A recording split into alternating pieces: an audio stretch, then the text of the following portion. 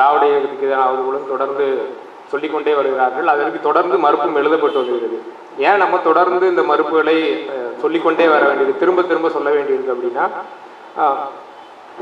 ஒரு ஒரு ஒரு தலைமுறை கடந்து அடுத்த தலைமுறை வரும்போது அந்த தலைமுறை ஒரு ஆரம்ப காலத்தில் பெரியாரை நோக்கி வருகிறவர்களுக்கு முழுமையான புரிதல் என்பது இருக்க வாய்ப்பில்லை. அவங்க தான் அப்போ தான் பெரியாரை படிக்க ஆரம்பிக்கிறாங்க அப்படிங்கும்போது இப்படியான ஒரு நூல் வரும்போது அது அதை அவர்களிடம் வந்து அவங்க நம்மகிட்ட யா- நம்ம நம்ம மாதிரியான தோழர்களிடம் வந்து விளக்கம் கேட்கும் போதோ அல்லது அவர்கள் அந்த அந்த அந்த அவதூறுகளுக்கு வந்து ஒரு சரியான விளக்கத்தை தேடும் போதோ அதற்கான மறுப்பு வந்து அந்த காலகட்டத்தில் அப்பப்போ நம்ம இருக்கணும். அவர்களுக்கான ஒரு என்ன சொல்கிற ஒரு அவைலபிலிட்டி இருக்கணும்ல ஸோ அதுக்காக நம்ம தொடர்ந்து இந்த மாதிரியான அதற்கான மறுப்புகளை எழுதி வருது அந்த மாதிரியான ஒரு புக்கு தான் இது வந்து பெரியாரை குச்சைப்படுத்தும் குழப்பவாதிகள். இதில் முக்கியமாக வந்து பெரியாரை விமர்சிக்கக்கூடாதா அப்போ பெரியாரை பற்றி எதுவுமே பேசக்கூடாதா அப்படின்னு கேட்டால் கண்டிப்பாக கிடையாது. பெரியாரை விமர்சிப்பதற்கு எல்லாருக்கும் உரிமை உண்டு. அவர்களுடைய தளத்திலிருந்து பெரியாரை சரியான விதத்தில் விமர்சிப்பதில் எந்த மாற்று கருத்தும் இல்லை. நம்மளும் அதுக்கான பதிலை கொடுப்பதில் நமக்கான எந்த தயக்கமும் கிடையாது. ஆனால் பெரியாரை கொச்சைப்படுத்தும் குழப்பவாதிகள் அப்படின்னு போட்டிருக்கிறதுக்கு காரணம் என்னன்னா அவர்களுக்கு எந்த விதமான ஒரு முகாந்திரமும் இல்லாமல் ஒரு ஆதாரபூர்வமான தகவலும் இல்லாமல் பெரியார் எழுதிய அல்லது பேசிய கருத்துக்களுக்கு நேர் எதிரான கருத்துக்களை அவர்களை திரித்து கொண்டு வெளியிடும் இந்த குழப்பவாதிகள் அதாவது கொச்சைப்படுத்துகிற குழப்பவாதிகளை அடையாளம் கட்டும் காட்டும் விதமாக அதற்கான மறுப்புகளை உள்ளடக்கிய புத்தகம் தான் இந்த பெரியாரை கொச்சைப்படுத்தும் குழப்பவாதிகள் அப்படிங்கிற அந்த புக்கு. குழப்பவாதிகள் அப்படின்னு நம்ம சொல்லும்போது சுருக்கமாக குழப்பவாதிகள்லாம் இன்றைக்கு நிலைமையில நம்ம ரெண்டே ரெண்டு பேர் தான் சொல்லணும். ஒன்று வந்து சங்கிகள் இன்னொன்று தம்பிகள். ரெண்டு பேர்த்துக்குமான விளக்கம் தான் இந்த புக்கு அப்போ பொதுவாக வந்து அந்த என்ன ஒரு விமர்சனம் பொது வெளியில எப்போ பார்த்தாலும் வைக்க வேண்டியது அப்படின்னா திராவிடம் அப்படிங்கிற அந்த ஒரு சொல்ல பற்றி ஏன் திராவிடம் பேசணும் அது ஒரு பக்கம் அவர்கள் வந்து அந்த சங்கி கூட்டு பிஜேபியை சார்ந்தவர்கள் வந்து இதை பத்தி திராவிட திராவிடம் என்கிற அந்த சித்தாந்தம் வந்து தமிழகத்தை சீரழித்து விட்டது அப்படின்னு பொத்தாம் பொதுவாக பேசுவாங்களே தவிர ஆனா அஹ், திராவிடம் என்பது அந்த அந்த சித்தாந்தத்தின் உ- உள்ளே நுழைந்து அவர்கள் பேசுவதற்கு அவர்களுக்கான எந்த கருத்தியலும் இல்லை. ஆனா இந்த தமிழ் தேசியம் பேசுகிறவர்கள் அந்த தமிழ் தேசிய கருத்துக்கு எதிரான கருத்தாக திராவிடத்தை ஒரு இந்த திராவிடம் என்கிற சொல்லாடல் தான் இங்க இருக்கிற தமிழ் எழுச்சியை குறைத்து விட்டது. தமிழர்களுக்கான உரிமையை வந்து மறுத்துவிட்டு தமிழர்கள் வந்து தமிழர்களாக தங்களை உணராமல் அடிமைப்பட்டு போயிட்டாங்க அப்படிங்கிறமான ஒரு கருத்து. அது எப்படி வைக்கிறாங்கன்னா கன்னடர்களுக்கும் திராவிடம் என்று சொல்லி அது கன்னடர்களையும் தெலுங்கர்களையும் உள்ளடக்கி கொண்டது தமிழர்களை புறக்கணித்து விட்டு அப்படிங்கிற ஒரு வாதம் தான் பொதுவாக வைக்கப்படுகிற ஒரு வாதம். அது உண்மையா அப்படின்னு பார்த்தோம்னா திராவிடம் அப்படிங்கிற இந்த- அந்த சொல் வந்த பிறகுதான் தமிழர்கள் தம்- தமிழர்களின் நிலை அதாவது அவர்கள் உரிமையில் இழந்தார்களா அப்படின்னு பார்த்தோம்னா திராவிடம் என்கிற சொல் பொதுவாக ஒரு அரசியல் ரீதியான சொல்லாக இங்க வந்தது வந்து ஒரு பத்தொன்பதாம் நூற்றாண்டின் தொடக்க காலம் அப்படின்னு தான் நம்ம சொல்லணும் இல்லையா? பெரியார் வந்து சுயமரியாதை இயக்கம் ஆரம்பிக்கிற காலம் தான் இங்க வந்து அந்த திராவிட இயக்கம் என்பது. அதுக்கு முன்னாடி பேசப்பட்ட காலம். திராவிடம் என்கிற சொல்லாடல் வந்து ஒரு ஆராய்ச்சி ரீதியில் அறிஞர்கள் மத்தியெல்லாம் பேசப்பட்ட காலம் என்பது அதற்கு முந்திலிருந்தே இருக்கு. ஆனால் திராவிடம் என்கிற சொல்லாடல் அரசியல் ரீதியாக மக்களை சார்ந்து மக்கள் சார்ந்த சமூக அரசியல் விடுதலைக்கு எப்போ வந்து சேருது அப்படின்னா பத்தொன்பதாம் நூற்றாண்டின் தொடக்க காலம் அது பெரியார் ஆரம்பிக்கிற அந்த சுயமரியாதை இயக்கம் அப்படிங்கிற அந்த காலகட்டத்தை தான் நம்ம சொல்லணும். அதுதான் வந்து திராவிட இயக்கம் வந்து மக்கள் சார்ந்த ஒரு இயக்கமாக ஒரு தொடக்க காலம் திராவிட இயக்கம். அப்ப அதுக்கு முன்னாடி இவங்க சொல்ற காலமும் அதுதான். கிட்டத்தட்ட அந்த காலத்தில் அப்பதான் தமிழர்கள் தங்கள் உரிமையை இழந்தார்கள். எல்லா எல்லா கூப்பாடுகளும் அங்க இருந்தா வருது. அப்ப அதுக்கு முன்னாடி எப்படி இருந்தாங்க அப்படிங்கிற ஒரு வரலாற்று அதை பத்தி பார்க்காம எந்தவித ஒரு புரிதலும் இல்லாம ஆமா அப்படிங்கிற அளவுல ஒரு ஒரு ஒரு ஒரு மேலோட்டமான புரிதல் இருக்கிற இளைஞர்கிட்ட நீங்க என்ன சொல்ல முடியும். அப்ப அதுக்கு முன்னாடியான வரலாறு என்ன? நமக்கான வரலாறு. அப்ப தமிழர்கள் செழித்து வாழ்ந்தார்களா? மன்னர் காலத்தில் உடனே இதை கேட்கும்போது அவங்க என்ன போவாங்கன்னா அடுத்து அந்த ஆயிரத்தி தொள்ளாயிரத்தி சுயமரியாதை இயக்கம் ஒரு நூறு வருஷமே வச்சுக்கோங்களேன் திராவிட இயக்கத்தின் வரலாறு என்பது. கடந்த நூறு வருஷமா இருந்தா அதுக்கு முன்னாடி நம்ம எப்படி இருந்தோம் போனா உடனே ராஜராஜனுக்கு போயிட வேண்டியது. ஆயிரம் ஆண்டுகளுக்கு முன்பாக. அப்ப அந்த காலத்திலேயாவது தமிழர்கள் உரிமை பெற்று வாழ்ந்தார்களா? மன்னர்கள் காலத்தில் எல்லா மக்களுக்குமான உரிமை ஒருபோதும் இருந்ததே கிடையாது. எந்த மன்னராக இருந்தாலும் சரி ராஜராஜ சோழனாக இருந்தாலும் சேர சோழ பாண்டிய எந்த மன்னனாக இருந்தாலும் சரி. ஆனால் அந்த மன்னர்கள் காலத்திலும் அங்க பார்ப்பனியம் என்பது இந்த இந்த ஒரு அவதூறு திராவிட இயக்கம் சார்ந்த அவதூறு ஒரு அவதூறு என்பது என்னது? பார்ப்பனியம் என்பதே வந்து திராவிட இயக்கம் அந்த கருத்தியலின் ஊடாக வந்ததுதான் அந்த பார்ப்பனியம் என்று சொல்லாடலாம். இவர்கள் தொடர்ந்து பார்ப்பனைகளை விமர்சித்து விமர்சித்து தான் அப்படியான ஒரு கருத்தியலை கொண்டாந்து இங்க வச்சிருக்காங்க அப்படிங்கிற ஒரு கருத்து. அப்ப பார்ப்பனியம் என்பது திராவிட இயக்கம் வந்த பிறகு தான் வந்தான்னு பார்த்தா அது நீ இவர்கள் சொல்லுகிற சேர சோழ பாண்டியர் காலத்தில் இருந்தும் கூட இருந்திருக்கிறது என்பதற்கான ஆதாரங்கள்லாம் வந்து கல்வெட்டு ரீதியாகவே இருந்திருக்கு. அதை தந்தை பெரியாரே வந்து நிறைய இடத்துல குறிப்பிட்டு சொல்லியிருக்காரு. தஞ்சை மாவட்டத்தில் இருக்கிற திருவிடை மது என்ற அந்த கோயிலில் உள்ள போய் பார்த்தா வந்து என்ன இருக்குன்னா வரக வரகுண மகராஜன் என்ற ஒரு பாண்டிய மன்னன் இருந்திருக்கான். அவன் வந்து மோட்சம் அடைவதற்காக தன் மனைவியை பார்ப்பானுக்கு விட்டு கொடுத்தது சித்திரமாக சூழலே வரையப்பட்டிருக்கிறது. அப்போ பெரியார் என்ன கேள்வி எழுப்புறாருன்னா நீ சோ சேர சோழ பாண்டி எல்லாரோட வீரம் பயங்கரமா இருந்துச்சு அப்படி இப்படின்னு கதை சொல்றியே. ஆனா இப்படி கேவலமாக மானமற்று நடந்து கொண்ட உன் அரசன் எப்படி வந்து மக்களுக்கான அந்த மனுநீதியை ஏற்றுக்கொண்ட மன்னன் மக்களுக்கான மன்னனாக எப்படி இருந்தார் அதான் பெரியாருடைய அடிப்படை கேள்வி. அப்ப தமிழ் தேசியம் என்று பேசுபவர்களுக்கு எது எது பெரியாரை தூக்கி சுமப்பதில் தடையாக இருக்கிறது அப்படின்னு நம்ம பார்த்தோம்னா அது பெரியார் பெரியார் வந்து வெறுமனே வந்து ஒரு அஹ், தமிழ் தேசியவாதிகளுக்கும் இங்க பெரியார் இயக்க தோழர்களுக்குமான ஒரு வேறுபாடு என்னன்னா பெரியார் வந்து தமிழ் தமிழ் மொழி சார்ந்த எந்த கருத்தையுமே ஒரு ஒரு இடதுசாரித்தனத்தில் அவர் அணியினார். எப்படின்னா தமிழ் மொழிக்குள்ள இருக்க பழமை பழமைவாத கருத்துக்களை அல்லது மூட கருத்துக்களையும் சேர்த்தே அவர் எதிர்த்ததுனால ஆனா அதெல்லாம் வந்து தமிழ் தேசியவாதிகள் அப்படி எதிர்க்கிறது அவர்களுக்கு ஒரு வசதியா இல்லை. அவங்க வந்து பழைய பெருமைகளை தொடர்ந்து பேசிக் கொண்டிருக்கும் என்று அந்த பழமைவாதிகளாக இருந்து கொண்டிருப்பால் பெரியாரை தூக்கி சுமப்பதில் வந்து அவர்களுக்கு ஒரு சங்கடம் இருக்கிறது. அதனால வந்து அந்த திராவிட கருத்தியலின் மீது அவர்கள் அந்த வெறுப்பை வைத்து அதை பெரியாரின் மீது சுமத்தி இப்படியான ஒரு கருத்தை தொடர்ந்து விதைத்து வருகிறார்கள் அப்ப திராவிடம் என்பதற்கான ஏன் வந்து பெரியார் வந்து தமிழ் தேசியம் என்ற பெயரிலே வந்து தமிழர் தமிழ்நாடு அப்படிங்கிற பெயரிலே வந்து தொடர்ந்து இயங்கி இருக்கலாம்னா ஏன் திராவிடத்தை இருக்க வேண்டியிருக்கு அவசியம் இருக்கிறது அப்படின்னு சொன்னோம்னா இந்த நாட்டினுடைய வரலாற்றை புரிந்து கொள்ள புரிந்து கொண்டவர்களுக்கு தான் அது புரியும். ஏன்னா இங்க ஒரு ஆயிரம் ரெண்டாயிரம் வருடங்களாக ஒரு இனக்கலப்பு நடந்திருக்கு. அதாவது இன ஊடுருவல் நடந்திருக்கு. பார்ப்பனியம் என்கிற அந்த ஒரு ஒரு வேறு வேறு ஒரு இனம் வந்து இங்க வந்து இருக்கிற இங்க ஏற்கனவே இருந்த ஒரு பூர்வகுடி மக்களுடைய மொழி கலாச்சாரம் பண்பாடு என நாகரிகம் என எல்லாவற்றிலும் ஊடுருவி அவர்களுடைய தங்களுடைய கலாச்சாரம். அவர் தங்களுடைய தாங்கள் பின்பற்றி வந்த கலாச்சாரம் எல்லாத்தையும் இங்கே திணித்து ஒரு கலாச்சார மாற்றம் நிகழ்ந்து இருக்கிற பொழுது நீங்கள் வெறுமனே வந்து மொழியை மட்டும் வைத்துக்கொண்டு உங்கள் போராட்டங்களை விடுதலை நடத்துவது என்பது இயலாத காரியம். ஏனென்றால் இங்க இருக்கிற பார்ப்பனர்களும் தங்களை அந்தந்த மொழிக்காரர்களாக தான் அடையாளப்படுத்திக் கொள்கிறார்கள். அப்ப உங்களுடைய நாம் வந்து நம்முடைய உரிமைகளை ஒரு வகையில் இழந்திருக்கிறோம். எல்லா உரிமைகளையும் இழந்திருக்கிறோம். இன்னைக்கு கீழடியை பத்தி நம்ம பேசிக்கிட்டு இருக்கோம். கீழடியில் எழுத்து இருந்தது சங்ககால பானைகளில் எழுத்து இருந்தது. அதனால வீட்டுல மக்கள் எல்லாம் எழுத்தறிவிட்டிருந்தார்கள் ஆனால் அந்த ரெண்டாயிரம் ஆண்டுகளுக்கு பிறகு என்ன நடந்தது? அந்த கீழடிக்கான ஒரு இரநூறு முந்நூறு ஆண்டு இரநூறு முந்நூறு ஆண்டுகளுக்கு ஆண்டுகளுக்கு பிறகு அதன் தொடர்ச்சியாக வந்து ஒரு ஆயிரம் ஆஹ், ரெண்டாயிரம் ஆண்டுகள் என்ன நடந்தது என்றால் தமிழன் முற்று முழுதுமாக தங்கள் உரிமையை இழந்து எல்லாவற்றையும் இழந்து போன பிறகு அந்த இல அந்த இல இழந்து அடிமை நிலை அதாவது சூத்திர நிலைக்கு தள்ளப்பட்ட பிறகு வர்ணாசிரமத்தை ஏற்றுக்கொண்டு சூத்திர நிலைக்கு ஆன ஆனதன் பின்னணி என்ன அப்படின்னு பார்த்தோம்னா இந்த பார்ப்பனிய ஊடுருவல். அப்ப நீங்க அதை உணர்ந்து கொண்டு தங்கள் விடுதலையை அவரோட விடுதலை நாம் விடுதலையை யார்கிட்ட பெற முடியும்? நம்ம யாரை நம்மை யார் ஒடுக்கினார்களோ அவரிடமிருந்து தான் நம்ம விடுதலையை பெற முடியும். அப்ப நம்மை ஒடுக்கியவரிடமிருந்து விடுதலையை பெறும்போது அவர்களையும் உள்ளடக்கியிருக்கிற அந்த மொழி ரீதியான தமிழர் தமிழ் என்ற சொல்லை விட அவர்களை தனிமைப்படுத்துகிற திராவிடம் திராவிடர் என்கிற சொல் தான் பொருத்தமாக இருக்கும் என்ற அடிப்படையில் தான் பெரியார் அதை தேர்ந்தெடுக்கிறார். அது அவரே பல இடங்களில் முன்பு சுட்டிக்காட்டியிருக்கிறார். குறிப்பாக ஈரோடு திராவிடர் மாணவர் சங்கத்தில் அவர் பேசிய போது அவர் அதை சொல்லுகிறார் திராவிடம் என்கிற வார்த்தையை நான் ஏன் பயன்படுத்துகிறேன்? அப்படிங்கிறது வந்து திராவிடம் என்கிற வார்த்தையை பிடிச்சிக்கிட்டு யாரும் வந்து ஆராய்ச்சி செய்ய தேவையில்ல. ஏன்னா நீ வந்து காஃபி அப்படின்னு சொல்றல காஃபிங்கிறது என்ன?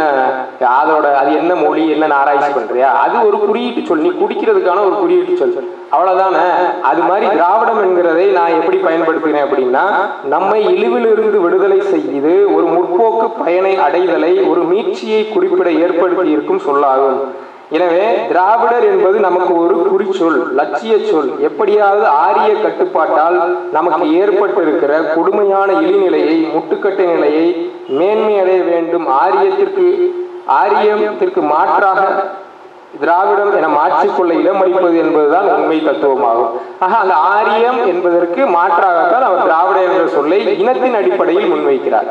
அப்படியாகத்தான் திராவிடம் என்கிற அந்த சொல்லாடல் வருகிறது. அதே போல திராவிட நாடு என்று பெரியார் திரா எல்லாத்தையும் இணைத்து கேட்டார் அப்படிங்கிற ஒரு கருத்து வந்து பரப்பப்படுகிறது.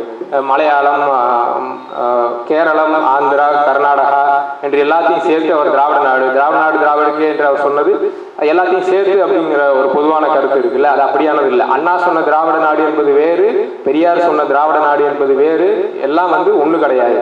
பெரியார் சொன்ன திராவிட நாடு என்பது அப்போது இருந்த சென்னை மாகாணம். அப்போது இருந்த சென்னை மாகாணம் என்பது கன்னடத்தின் சில பகுதிகளையும் உள்ளடக்கியது. ஆந்திரா மலையாளம் போன்ற இந்த நான்கு மாநிலத்தின் சிறு சிறு பகுதிகளையும் உள்ளடக்கியது. உள்ளடக்கிய சென்னை மாகாணமாக இருந்த பகுதி.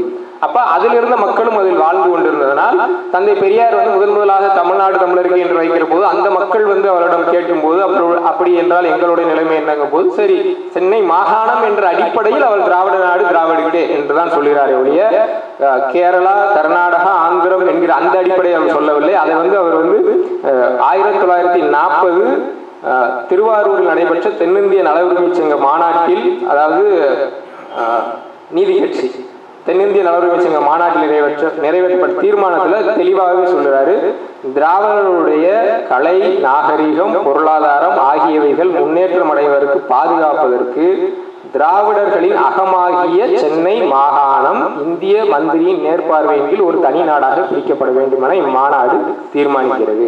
அப்ப அவர் திராவிட நாடு என்று சொன்னது சென்னை மாகாணம். அதை இன்னும் ரெண்டு மூணு தீர்மானமெல்லாம் போட்டிருக்காங்க. அதை தொடர்ந்து வந்து ஆயிரத்தி தொள்ளாயிரத்தி நாற்பத்தி நாலுல மறுபடியும் சேலத்தில் நடைபெற்ற ஜஸ்டிஸ் கட்சி இரண்டாவது ஜஸ்டிஸ் கட்சி மாநாட்டில் இரண்டாவது தீர்மானமாக அதையே வலியுறுத்துகிறார். அதன் முக்கிய கொள்கைகளில் திராவிட நாடு என்ற பெயருடன் நம் சென்னை மாகாணம் மத்திய அரசாங்கம் ஆதிக்கமில்லாததும் நேரடி செக்ரட்டரி ஆஃப் ஸ்டேட்டின் நிர்வாகத்தில் கட்டுப்பட்டதுமான ஒரு தனி நாடாக பிரிக்கப்பட வேண்டியது அப்படின்னு சொல்லிட்டு எல்லாத்துலேயுமே பிராக்கெட்ல சென்னை மாகாணம் தான் போட்டிருக்காரு. அப்ப தந்தை பெரியார் சொன்ன திராவிட நாடு என்பது சென்னை மாகாணம். அன்றைக்கு இருந்த சென்னை மாகாணம்.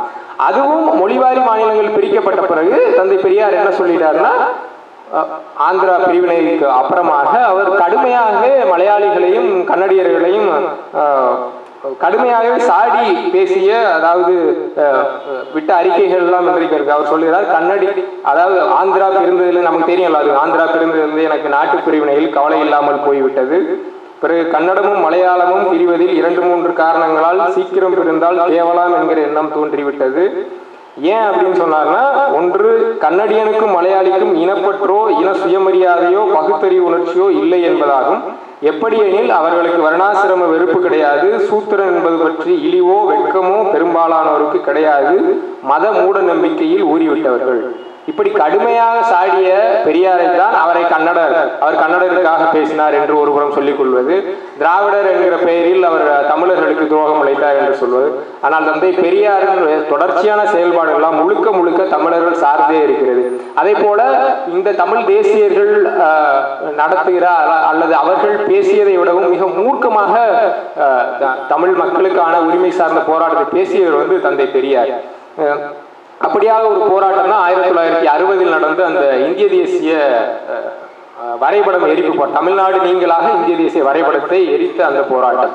அந்த போராட்டம் என்பது அதில் வந்து அவர் கண்ண தெலுங்கு ஆந்திரா கர்நாடகா அல்லது கேரளா எல்லாத்தையும் வைத்து கொண்டு அவர் இருக்கவில்லை தமிழ்நாடு நீங்களாக எல்லாவற்றையும் தான் இருக்கார் ஸோ அப்படியான போராட்டங்கள் இங்கே இருக்க. தமிழ் தேசிய அமைப்புகள் ஏதாவது நடத்தியிருக்கா? இல்லை பார்த்தா அப்படி கிடையாது. இன்னைக்கு இவர்கள் தூக்கி பிடிக்கிற மாப்போசி அன்னைக்கு தமிழரசு கழகம் என்று வைத்திருந்தார். அவர் அப்படியாக நடத்தியிருக்காருன்னா அவர் முழுக்க முழுக்க இந்திய தேசத்துக்கு ஆதரவாக இருந்து கொண்டு பெயரளவில் தமிழரசு கழகம் என்று ஒன்றை நடத்தி கொண்டிருந்தவர். அதே போல அஹ், இந்த பிரிவினை எல்லாம் வலியுறுத்தி பேசும்போது நேரு இதை பற்றி கடுமையாக பாராளுமன்றத்தில் இதை பற்றி விமர்சனம் செய்கிற போது நேருவை பார்த்து கேட்கிறார். நாங்கள் பிரிவினை கேட்டால் வந்து நீங்கள் வந்து இவ்வளவு கோவப்படுறீங்களே நீங்கள் காஷ்மீரை இவ்வளவு வேணும் வேணும்னு சொல்லி இவ்வளவு கொடுங்குறீங்களே காஷ்மீர் என்ன ஓ நாடா? ஏன் கேட்கிற நீ? நேருவை பார்த்து அவர் கேட்குறாரு. காஷ்மீரை ஏன் கேட்குற? நீ அங்கே பிறந்தன்னு தானே கேட்குற. காஷ்மீர்ல என்ன முஸ்லீம் தானே அதிகம். அப்புறம் ஏன் வேணும் வேணும்னு கேட்குறேன் நீ அங்க பிறந்தங்கிறதுனால கேட்கும்போது நான் எங்க பிறந்தனோ அந்த நாட்டை நான் கேட்க கூடாதா இவ்வளவு கடுமையாக முன்வைத்தவர் தந்தை பெரியார். இந்த இந்த மாதிரியான ஒரு விஷயங்கள்லாம் வந்து தமிழ் தேசிய தலைவர்கள் யாராவது பேசியிருக்காங்களா அப்படின்னு அவங்க காட்டட்டும். ஏன்னா அவர்கள் வந்து ஒரு ஒரு ஒரு பேச்சுக்கு கூட மேடையில் வந்து இந்திய தேசிய எதிர்த்து பேசியதாக எனக்கு தெரிஞ்சு நான் ஒரு ஓரளவுக்கு வாசிப்பு பார்த்துருக்கேன். அந்த அளவுக்கு எதுவுமே கிடையாது. அவர்கள் வந்து பெரியாரை எதிர்க்கும் போது மட்டும் அந்த அந்த வேகம் வருமே தவிர இந்திய தேசியத்தை தனியாக பார்க்கும்போது அப்படியெல்லாம் ஒரு வா- வராது. அதே போல தந்தை பெரியார் நடத்திய இன்னொரு போராட்டம் வந்து தேசிய கொடி எதிர்ப்பு போராட்டம். இந்திய எதிர்ப்பு இந்திய எதிர்ப்பை வைத்து தேசிய கொடியை எரிக்கும் போராட்டத்தை அறிவிக்கிறாரு. அப்போ வந்து எனக்கு இதை படிக்கும்போது உண்மையிலே சிரிப்பு வந்துச்சு. ஏன்னா அந்த தேசிய கொடி அறிவிக்கிறேன்னு போராட்டம் அறிவிக்கிறாரு. உடனே கொஞ்சம் பேரெல்லாம் என்ன சொல்றாங்கன்னா தேசிய கொடி எப்படி எரிக்கலாம்? ஆஹ், கொடி காத்த குமரன் வந்து கஷ்டப்பட்டு காத்த கொடியை நீ எப்படி எரிக்கலாம் அப்படின்னு சொல்லும்போது நம்மளா இருந்தா என்ன பண்ணியிருந்திருப்போம்? ஏ நீங்க என்னடா சொல்றது? நான் நான் எரிக்க விட மாட்டேன். வந்து பாடுறாங்க ஒரு மாதிரி. அந்த அந்த லெவல் தான் இப்போ பெரியார் அப்படிலாம் சொல்லவே மாட்டேன் நீங்க உண்மையிலே பெரியார் வாசிக்க ஆரம்பிச்சிட்டீங்கன்னா அதுக்கப்புறம் எவனாவது வந்து ஒரு போஸ்டோ ஏதோ போட்டாங்கன்னா நீங்க அதை படிச்சு பார்த்தீங்கன்னா தெரியும் அது பெரியார் சொல்லியிருப்பாரா இல்லையா ஏன்னா பெரியார் வந்து அப்படியெல்லாம் பண்ணவே மாட்டார். அவர் கேஷுவலா சொல்றாரு. நம்மளா இருந்தா இதெல்லாம் யோசிச்சிருக்கவே மாட்டோம். பெரியார் இந்த லாஜிக்கில் அடிச்சாருனே தெரியல. கொடிகாத்த குமரன் கொடியை எரிக்கலாமா அப்படி இப்படின்னு பெரியார் கேட்கிறாரு. டேய் நீ கொடிகாத்த குமரன் கொடி காலத்துல இந்த கொடி எங்கடா எரிச்சுன்னு முதல்ல கேட்டாரு. எனக்கு கொடியாத நான் அதை இது படிச்ச பிறகு செக் பண்ணி பார்க்குறேன். கொடியாத குமரன் ஆயிரத்தி தொள்ளாயிரத்தி முப்பத்தி ரெண்டுல இறந்துட்டாரு. அதுக்கப்புறம் இவங்க ரெண்டு மூணு தடவை கொடியெல்லாம் மாத்திருக்காங்க. டேய் இந்த கொடி எங்கடா அப்ப இருந்துச்சு? கொடியாத குமரன் காலத்துல இருந்திருக்கவே இருந்திருக்காது. ஏன் பண்ணி சத்தம் போட்டுக்கிட்டு இருக்கா? அப்படின்னு கேட்டுட்டு பெரியார் சொல்றாரு.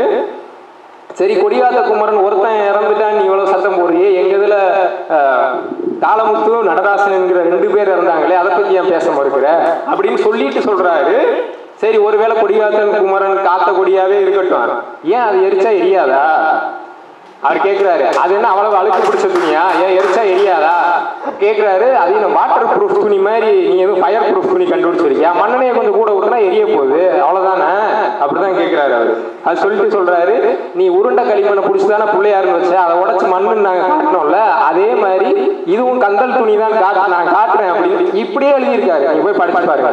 இதுவும் நீ- எப்படி உருண்டை களிமண்ணை பிடிச்சி வச்சு அதை பிள்ளையாரு சொன்னியோ அதை நான் உடச்சு மண்ணுன்னு காட்டானல்ல மண்ணுக்கு அதுக்கு வித்தியாசம் இல்லைன்னு அதே தான் இந்த இதுவும். இதுவும் அதே மாதிரி கந்தல் துணிங்கிறத நான் எரிச்சு காட்டுறேன் அப்படின்னு போறாரு. இதே அளவுக்கு பேசுனேன் ஏதாவது ஒரு தமிழ் தேசியவாதியை காட்டட்டும்.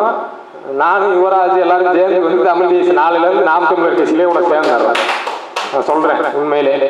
எவனா காட்டினா படிக்கும்போது எனக்கு சிரிப்பு தாங்க முடியல உண்மையிலேயே அவர் எவ்வளவு வந்து அதாவது நீங்க வந்து பெரியாரை படிக்கும் போது உங்களுக்கு வந்து அந்த எல்லாம் பட வேணாம். அவங்க இவ்வளவு நிதானமா இருந்தாலே போதும். அவங்க வந்து அதாவது அந்த ஆவேசத்தில் நமக்கு என்ன பண்ணணும்னு தெரியாது. ஆனால் பெரியார் அப்படியானவள் அவர் அவர் வந்து ரொம்ப உண்மையிலே பெரியாரை படிக்க படிக்க வந்து உங்களுக்கு ஒரு வியப்பும் வரும் அதே நேரத்தில் ஒரு நிதானமும் வரும் என்பதுதான் ஒரு உண்மையான இது அதே போல ரெண்டாவது அவர் மேல வைக்கிற முக்கியமான குற்றச்சாட்டு வந்து தமிழ் வந்து காட்டு மிராண்டு மொழி வழக்கமான. எல்லா அதுலயும் வந்து சொல்லிடுவானுங்க சங்கிகளும் சொல்லுவானுங்க இங்க தம்பிகளும் சொல்லுவானுங்க வந்து உட்காந்து தமிழ் காட்டு மிராண்டு மொழி காட்டு மிராண்டு மொழின்னு சொன்னாரு. ஆனா அவர் சொன்னது உண்மையானா? ஆமா சொன்னாரு. ஏன் அப்படி காட்டு மிராண்டி மொழி அப்படின்னு சொன்னாருன்னா இதுல இன்னொரு குற்றச்சாட்டும் வருது. என்னன்னா ஆயிரத்தி தொள்ளாயிரத்தி முப்பத்தெட்டுல அந்த ஹிந்தி எதிர்ப்பு போராட்டத்துக்கு முதன் முதலாக பெரியார் தான் அழைப்பு விடுறாரு. எல்லாரையும் இணைச்சு அந்த ஒரு பெரிய போராட்டத்தை பண்றாரு. அது என்ன குற்றம் சாட்டுகிறாங்கன்னா அப்படின்னா அந்த இந்திய எதிர்ப்பு போராட்டமே பெரியார் தன்னுடைய அரசியலுக்காக பயன்படுத்தி கொண்டது. ஏன்னா அதுக்கப்புறம் அவர் வந்து தமிழ் மொழியை வந்து பயங்கரமா விமர்சிக்கிறாரு. அதை வந்து சும்மா தன்னுடைய அரசியல் வாழ்க்கைக்காக பயன்படுத்தி கொண்டாரு அப்படின்னு எல்லாம் சொல்லும்போது ஆனால் ஆனா பெரியார் வந்து ஏன் வந்து அந்த இந்திய எதிர்ப்பு போராட்டம் தான் முதன் முதலில் தமிழர்கள் எல்லாம் தமிழர் என்ற அடிப்படையில் ஓர்மையில் வந்தது அப்படின்னு நம்ம சொல்லணும் உண்மையிலே. அப்ப அந்த இந்திய எதிர்ப்பு போராட்டத்தில் தமிழர் தமிழ் மொழியைக்காக அழைத்த பெரியார் அதுக்கப்புறம் ஏன் விமர்சனம் வைக்கிறார்னா உண்மையிலே பெரியார் என்பவர் ஒரு உண்மையிலே அவரை போல நேர்மையாளரை நாம் பார்க்க முடியாது நம்மாலே அப்படி இருக்க முடியுமாங்கிறது ஒரு சந்தேகம் தான். ஏன்னா அவர் வந்து மொழி அடிப்ப அது வெறுமனே ஒரு மொழி போராட்டமாக அவர் பார்க்கல. இங்க ஏற்கனவே ஒரு பண்பாட்டு கலாச்சார சிதைவு நிகழ்ந்திருக்கு. எல்லாவற்றிலும் ஒரு பார்ப்பனிய ஊடுருவல் நிகழ்ந்திருக்கு. அவன் மேலும் வந்து அதுல ஹிந்தியை திணிக்கும் போது அந்த பார்ப்பனியம் இன்னும் இறுகப்படுவதற்கான ஒரு வாய்ப்பு இருக்கு. அப்ப நீ வந்து மக்களை வந்து இதெல்லாம் அந்த காலத்துல இருந்து ஏன்னா அப்ப அவங்களுக்கு அதெல்லாம் தெரியாம தானே நம்ம எல்லாம் கும்புரன் சாமி போட்டுக்கிட்டே இருந்தோம். இப்ப அவன்கிட்ட போய் இதெல்லாம் சொல்ல முடியாது. ஆக தமிழர் மொழியை பயன்படுத்தி கொண்டு தமிழர்களை வாருங்கள் என்று அந்த போராட்டத்துக்கு அவர் அழைப்பு எடுக்கிறார் அதன் அடிப்படையில் அந்த ஹிந்தியை எதிர்க்கிறார். ஆனா அதோட நிப்பாட்டி இருந்தா தமிழ் தேசியவாதிகள் இன்னைக்கு நான் சொல்றேன் பெரியாரை தூக்கி வச்சு கொண்டாடிப்பாங்க. அதை நிப்பாட்டிட்டு பெரியார் வந்து தமிழ் மொழி சிறப்பான மொழி பண்டை காலத்துல இருந்து இது இருந்தது நீங்க பேசுற மாதிரியே பேசிட்டு இருந்தாருன்னா இவங்க தூக்கி வச்சு கொண்டாடிப்பாங்க. ஆனா பெரியார் என்ன பண்ணார்னா அதுக்கு அடுத்து அதை அப்படியே விடல. அதற்கு அடுத்த ஒரு அதா நீ உன்னுடைய மொழியை அப்போதைக்கு அந்த ஹிந்தி ஆதிக்கத்திலிருந்து காப்பாத்திட்ட. ஆனா உன்னுடைய மொழி ஏற்கனவே பல்வேறு அந்த பார்ப்பனிய ஊடுருவலால் வந்து பழமையான கருத்துக்களும் மூட கருத்துக்களும் புகுத்தப்பட்டிருக்குல்ல. அதை எப்படி பண்ணுவேன் அதுக்காக தான் அவர் பேசுறாரு. ஏன்னா இவ்வளவு நம்ம எப்படி லைட்டா சொன்னாலும் நம்ம கேட்காது. அவர் அதை தான் சொன்னாரு. ரெண்டாயிரம் வருஷத்து தடித்த தோலை வந்து நான் வந்து ஈஸியாவெல்லாம் இது பண்ண முடியாது. கொஞ்சம் உரைக்கிற மாதிரி சொன்னாதான் அது கேட்கும். அதனால தான் அவர் சொல்றாரு உன் மொழி காட்சி மராணி மொழி தான். எடுத்து பாரு. கம்பராமாயணம் உன் எல்லாத்துலயும் பல புராணம் பேசிட்டே இருக்கே தவிர ஏதாவது அறிவியல் பூர்வமா அது எல்லாம் அவர் எதுக்கு சொன்னார்னா தமிழ் மொழி அறிவியல் பூர்வமாக வளர வேண்டும் அப்படிங்கிறதுக்காண்டி அவர் சொன்னாரு. அதே போல மா ராசமாணிக்கம் அப்படிங்கிறவர் வந்து ஒரு கட்டுரை எழுதியிருக்கார். பெரிய விடுதலையில் பெரியாரோட பிறந்த நாளை ஒட்டி ஒரு கட்டுரை எழுதியிருக்காரு. அதில் வந்து அவர் ஒரு முக்கியமான விஷயத்தை சொல்கிறார் தா- தா- பெரியார் தமிழுக்கு என்ன செய்தார் அப்படி இப்படின்னு எல்லாம் கேட்டுக்கிட்டு இருக்க அவர்களுக்கெல்லாம் வந்து நம்ம சொல்லணும். ஏன்னா நம்ம இதெல்லாம் தெரிஞ்சு வச்சுக்கணும். அவர் விடுதலையில் மா ராசமாணிக்கனார் டாக்டர் மா ராசமாணிக்கனார் வந்து எழுதுறாரு. தமிழுக்கு ஆபத்து வரும்போதெல்லாம் முன்னடியாராக நின்று அவ்வின்னலை நீக்குதல் பெரியாரது இயல்பு. ஆயிரத்தி தொள்ளாயிரத்தி முப்பத்தி மூணில் சென்னை பச்சையப்பன் கல்லூரியில் தமிழன்பர் மாநாடு கூட்டப்பட்டது. பேசுவது போல் எழுத வேண்டும் என்பது அம்மாட்டி மாநாட்டில் முடிவு செய்யப்படுவதாக அதாவது நம்ம எப்படி பேச்சு வழக்கில் பேசுகிறோமோ அதவே எழுதுறது. இப்போ நம்மளுடைய எழுத்து தமிழ் என்பது வேறு ஒரு செந்தமிழ் நடையில் எழுதுறோம். ஆனால் பேசி அப்படி பேசுறது இல்லை ஆனால் அதே போல் எழுத வேண்டும் அப்படிங்கிறது இந்த மாநாட்டில் முடிவு பண்ணுறாங்க இத்தீய முடிவு வெற்றி பெற்றிருப்பின் செந்தமிழ் வழக்கு சிதைந்து ஒழியும் என்பதை உணர்ந்த பெரியார் அம்மாநாடு நன்முறையில் நடைபெற விரும்பினார். அதன் பயனாக திரு குமாரசாமி முதலிய தமிழ் வீரர்கள் அம்மாநாட்டில் கலந்து கொண்டு அதன் முடிவு நிறைவுறா வண்ணம் செய்தனர்.